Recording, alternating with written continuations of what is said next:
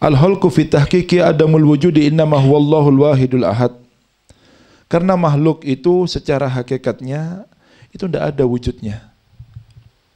Tidak ada wujud wujudnya. Yang maha wujud itu cuma satu yaitu Allah. Subhanahu wa taala. Fawujudu siwa kal bahai fil hawa au kad dilalil ashas fa in fatastahu lam tajid husai'an. Karena wujud daripada selain Allah Subhanahu wa taala itu hanya seperti bayang-bayang manusia yang ada sama kita ini. Kalau kamu perhatikan secara sungguh-sungguh, kalian tidak akan dapatkan apa-apa nanti. Ya. Fagoyib anka ayuhal fakir nadarul halki ilaika iktifaan binadaril haqqi ilaika. Itla nadara lisiwa. Maka hilangkan dari di sisi kamu, dari jiwa kamu, ya, wahai orang-orang yang fakir kepada Allah Subhanahu wa taala, pandangan makhluk kepada kamu. Sudah cukup buat apa pandangan? Cukup kita yakin bahwa setiap amal soleh yang kita lakukan itu dipandang oleh Allah, baik ada manusia ataupun tidak ada manusia. Kita harus yakin, tanamkan keyakinan di dalam hati kita bahwa Allah mengetahui dengan apa yang kita lakukan. Sehingga orang-orang soleh ini kebanyakan mereka itu belum khalwat kenapa? Ya karena dia yakinnya tidak butuh sama pandangan manusianya mereka. Kalau orang-orang soleh itu berkhalwat dan diketahui manusia, itu khalwatnya bukan dia tuh kepingin humul, malah kepingin suhro namanya. Kepingin terkenal, biar tahu kalau orang ini khalwat dan lain sebagainya. Daripada ketahuan manusia dalam keadaan khalwat, lebih baik dia kumpul sama manusia saja.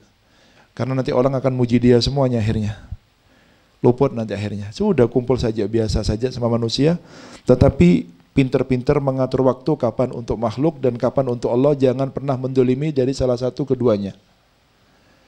Pinter-pinter bagi wak waktu. Ini adalah keadilan yang diajarkan oleh Rasulullah Shallallahu Alaihi Wasallam.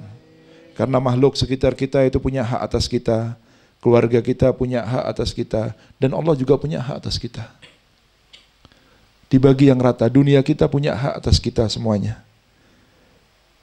Dibagi yang rata. Kapan waktu untuk dunia kita, kapan waktu untuk keluarga kita, dan kapan waktu kita untuk Allah Subhanahu wa taala. Jangan didolimi salah satunya. Bingung sama dunianya, nanti sisanya sama keluarganya, tidak ada waktunya sama sekali sama Allah Subhanahu wa taala. Tidak ada seperti itu ya. Dibagi yang rata. Al-Imam Syafi'i rahimahullah wa radhiyallahu taala anhu arda beliau dalam umurnya membagi malamnya menjadi tiga bagian. Sepertiga malam untuk ilmu, sepertiga malam untuk badannya istirahat, sepertiga malam terakhirnya untuk Allah Subhanahu wa taala. Dan begitu malam-malam dihabiskan oleh Imam Syafi'i, menunjukkan ini adalah sifat adil yang membagi kepada tidak mendolimi kepada salah satunya ya.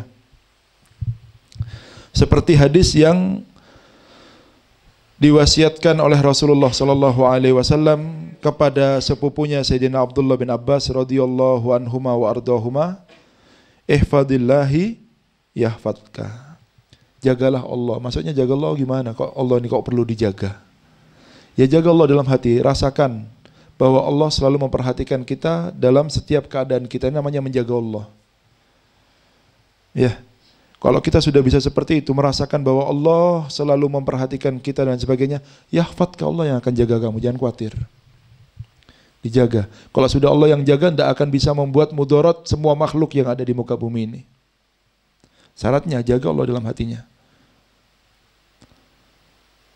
Segala hal-hal yang mudorot itu sihir kah, apakah itu terjadi bisa kena kepada orang ketika orang itu lalai sama Allah Subhanahu wa taala. Kalau dia tuh ingat sama Allah tidak akan kena hal-hal yang mudorot seperti itu. Ihfadillahi tajidhu tujahaka. Kalau kamu menjaga Allah Subhanahu dia akan kamu akan mendapatkan Allah selalu ada bersama kamu. Kalau sudah dia sama bersama Allah Subhanahu wa tidak kehilangan segala sesuatu. Tapi kalau manusia itu kehilangan Allah, maka dia kehilangan segala sesuatu.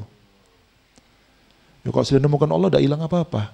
Tapi orang kalau sudah kehilangan Allah, tidak nemu apa-apa. Walaupun dia punya dunia dan seisinya, tapi kalau kehilangan Allah sampai bingung dia nyari Allah di sholatnya mana ya Allah ya sampai bingung, dan nemu husuk dalam sholatnya itu kehilangan segala sesuatu dia. Tapi walaupun dia tidak punya apa-apa, dia menemukan Allah, hadir selalu hatinya sama Allah, mendapatkan segala sesuatu dia. Paham ya? Ihfadillahi tajidhu tujahaka. Kalau kau jaga Allah, niscaya kamu akan berkan Allah selalu berada bersama kalian. Ya. Wa idza sa'alta fas'alillah. Kalau kamu minta, minta sama Allah, jangan minta sama makhluk. Ya.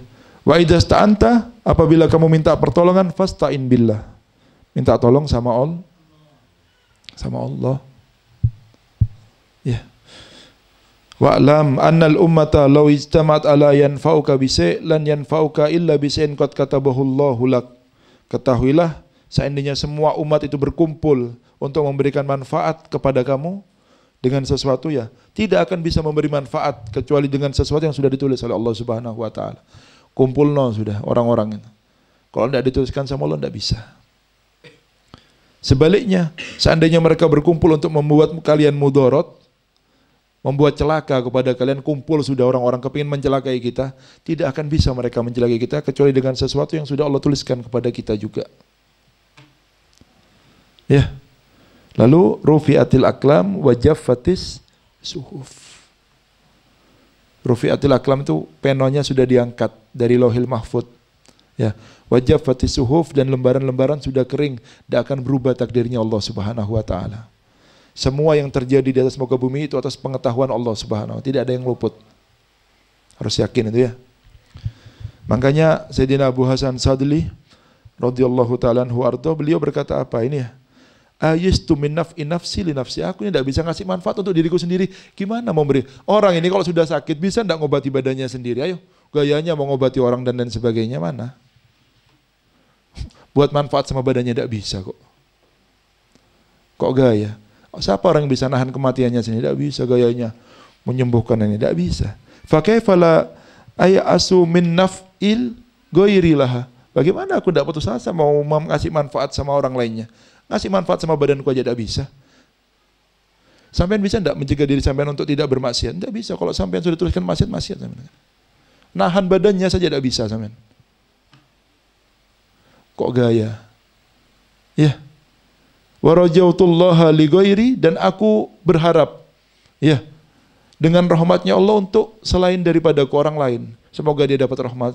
Bagaimana aku tidak berharap untuk diriku sendiri? Itu namanya harapan kepada Allah Subhanahu wa taala. Ya.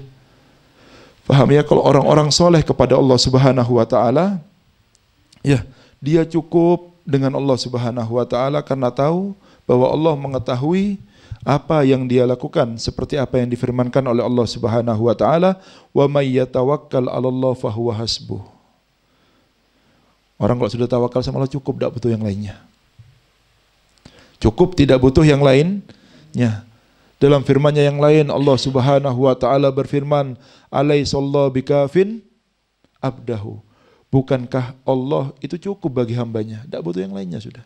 Sudah cukup Allah Subhanahu wa taala. Ya. Dalam firman-Nya yang lain Allah Subhanahu wa taala berfirman, "Alam ya'lam bi annallaha yara." Bukankah kalian tahu semuanya bahwa Allah itu melihat apa yang kalian lakukan? Kalau sudah yakin Allah melihat kita, buat apa pandangan manusia lagi? Orang yang masih dia itu senang dengan pandangannya manusia berarti dia masih belum tahu harga pandangannya Allah. Orang yang masih senang ketika dilihat manusia, berarti masih besar manusia di hatinya dan belum tahu harga pandangannya Allah.